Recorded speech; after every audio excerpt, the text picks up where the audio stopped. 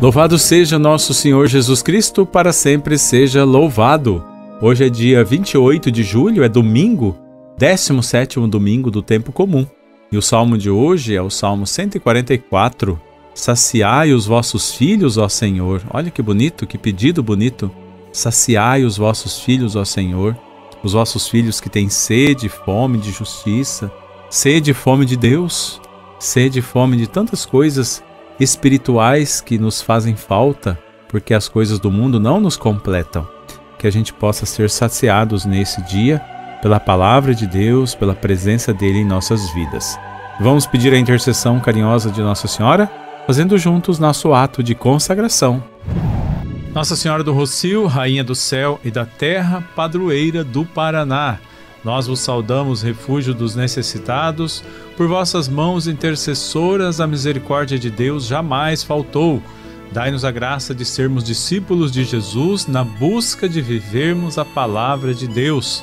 Transformai a nossa vida em um santuário de amor, onde Jesus seja o centro.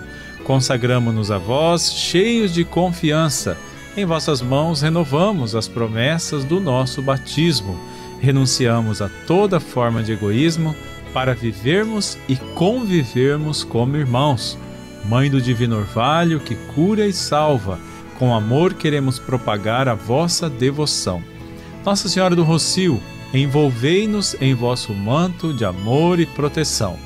Mergulhados nos mistérios da encarnação, morte e ressurreição de Jesus, conduzir a nossa vida para o coração de Deus na ação do Espírito Santo. Assim seja. Amém. Agora a bênção da água e dos objetos de devoção. Senhor Deus Todo-Poderoso, fonte e origem de toda a vida, abençoai esta água que vamos usar para pedir o perdão de nossos pecados e alcançar a proteção contra toda doença. Concedei a Deus que, por vossa misericórdia, jorrem sempre para nós as águas da salvação, para que possamos nos aproximar de vós com o coração puro e ficarmos livres de todo o perigo do corpo e da alma. Abençoai também, Senhor, os nossos objetos de devoção e artigos religiosos. Por Cristo nosso Senhor. Amém.